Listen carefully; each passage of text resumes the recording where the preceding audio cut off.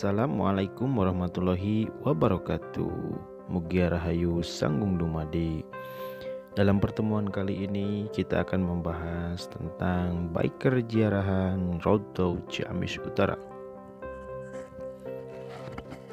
Kita tahu bahwa biker jarahan selalu eksis dan senantiasa berziarah menggunakan biker sambil membuka sejarah, riwayat, kisah, dan peristiwa yang terjadi di masa lampau untuk generasi hari ini dan apa yang menjadi tapakur diri untuk selalu senantiasa memperbaiki diri dan ingat kepada kematian. Merupakan salah satu yang paling baik ialah manusia yang mengetahui dan ingin memperbaiki diri perihal tentang kehidupan masa lalu dirinya, leluhurnya, maupun bangsa dan negaranya. Ketika sudah memberikan rasa untuk menghargai jasa-jasa para pemimpin, maka niscaya mereka dekat dengan kehidupan yang sangat penuh dengan arti dan perjuangan ke depannya. Dalam kesempatan kali ini, baik kerjarahan Road to Ciamis Utara Jarah Akbar bulan Rajab itu start di PCNU ya hari Rabu kemudian melaju melalui jalur utara. Sampailah di perjalanan senantiasa memberikan himbauan kepada masyarakat yang dilalui yaitu tentang tetap dalam menjaga kesehatan, dalam menjaga jaga kesehatan dan memutus mata rantai COVID-19. Sesampainya di Kawali kami berfoto bersama kurang lebih hampir 50 kendaraan bermotor sampai di Astana Gede. Astana adalah makam gede itu artinya besar atau ada yang mengartikan bahwa Astana Gede adalah pemakaman orang-orang besar. Ternyata emang benar bahwa Astana Gede Kawali dulunya merupakan pusat ibu kota Galuh Pakuan ya kurang lebih pada pertengahan abad ke-13.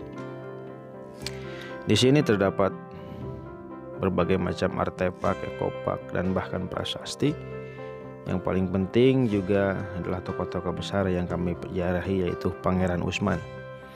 Beliau merupakan penyebar agama Islam di daerah dan kerajaan Kawali, keturunan kerabat langsung dari Kesultanan Cirebon dan merupakan titah dari Kesultanan Cirebon langsung dalam syiarnya beliau menikah dengan salah satu putri dari Maharaja Kawali yaitu Pangeran Mahadikusuma.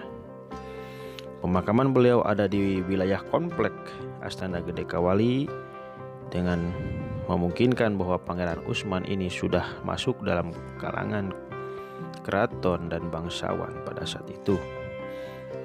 Sekiranya pada kisaran waktu abad ke 17 awal yaitu 1600 sampai 1643.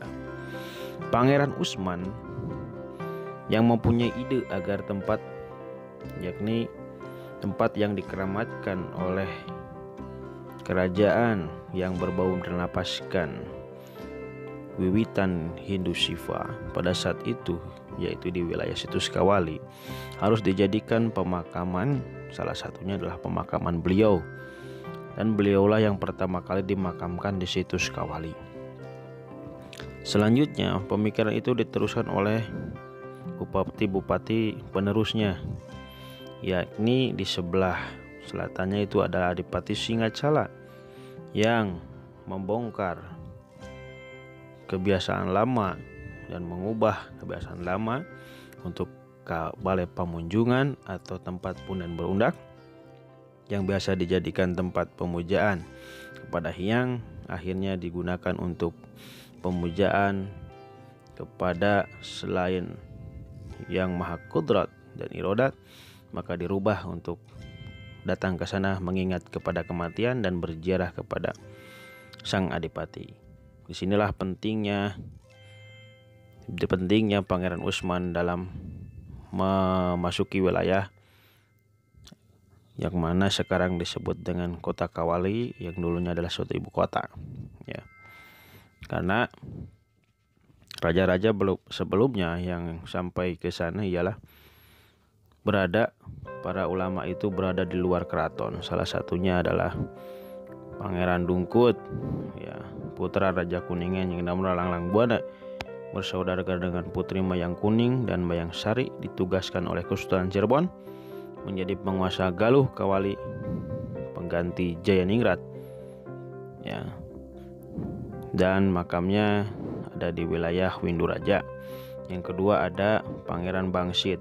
Pangeran Bangsit disebut juga Mas Palembang adalah putra Pangeran Dungkut mempunyai putra dua yaitu Endang Satwika Mahadikusuma dan melanjutkan pemerintahan menggantikan ayahnya serta meluaskan ajaran Islam di daerah Kawali ya sekitar 1575 sampai 1592 Masehi. Dan pemakamannya berada di wilayah Winduraja dan yang paling utama adalah Pangeran Usman yang sampai memasuki keraton Sri Bima Putra Narayana Madura Suradipati yang begitu sangat banget sulit untuk ditembus pada waktu itu. Karena di dalamnya ada tempat yang dikeramatkan tempat khusus untuk berkumpulnya para abdi-abdi dalam keraton dan raja-raja pada saat itu yakni keraton Surawisesa. Yang fundamental pada saat itu juga di Astana Gede itu banyak sekali prasasti-prasasti yang hari ini masih bisa kita lihat. Ini membuktikan bahwa Islam datang dengan damai, Islam datang dengan sangat-sangat terbuka, Islam datang dengan masuk dengan kebudayaan juga dan menyesuaikan dengan pemikiran dan alam Nusantara pada saat itu umumnya dan khususnya adalah masyarakat Tatar Galuh dan kami sebagai penerus merasa memiliki kewajiban dan juga memiliki berbagai harapan untuk melestarikan peninggalan-peninggalan sebagai studi bagi generasi dan juga berziarah sebagai ranah kita orang Islam untuk mengingat kepada kematian dan juga amal kepada penghargaan jasa-jasa para luhur yang telah membukakan keimanan keislaman di wilayah Tatar Galuh pada khususnya. Selanjutnya, kami juga tak lupa mengelilingi juga komplek dan satu persatu kami menceritakan tentang siapa-siapa saja yang telah berperan serta membangun kota Kawali menjadi salah satu ibu kota yang sangat membanggakan permata Tatar Galuh abad pertengahan dan juga menjadi salah satu ikon Jawa Barat salah satu bukti bersejarah yang paling penting di Jawa Barat tentang eksistensi adanya kerajaan Galuh dari masa ke masa.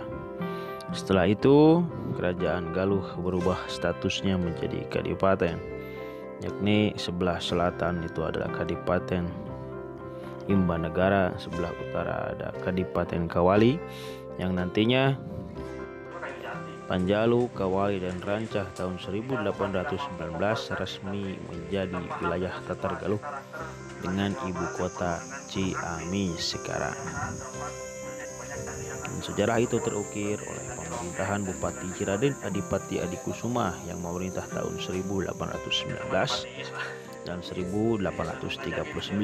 Beliau dimakamkan di Gunung Galuh atau Gunung Yasa, Desa Sindang Rasa Ciamis.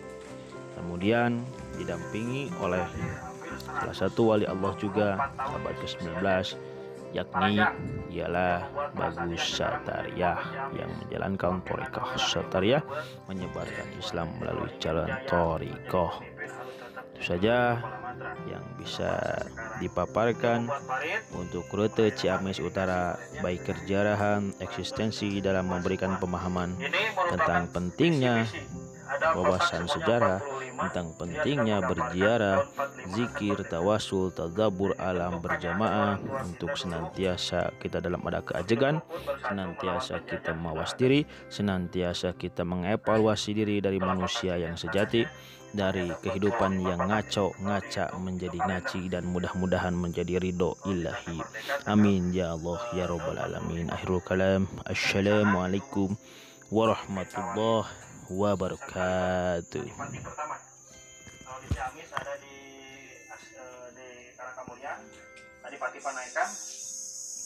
karena galuh Kamulian itu adalah galuh pertama galuh purba ya kalau ini sudah abad pertengahan nah ini bupati yang sampai di sini luar biasa orang dulu sangat bingung untuk masuk ke wilayah Galuh khususnya nah ini Adipati Singasala sudah sampai di sini.